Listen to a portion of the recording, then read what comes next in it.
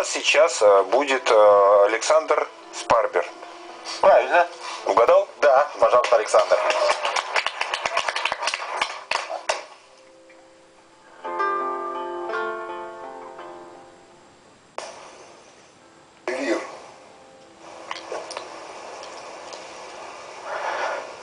Полынь, полынь, везде одна полынь.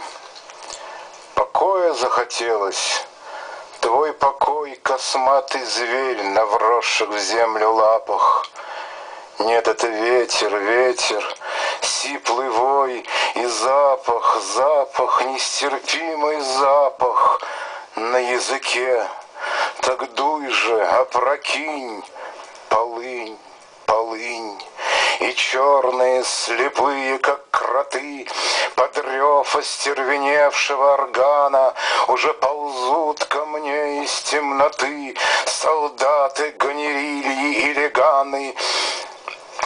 Исчезни, рас... Нет, вот забыл. Не надо. А, не надо, растворись, исчезни, сгинь. Полынь, полынь, не то, не то.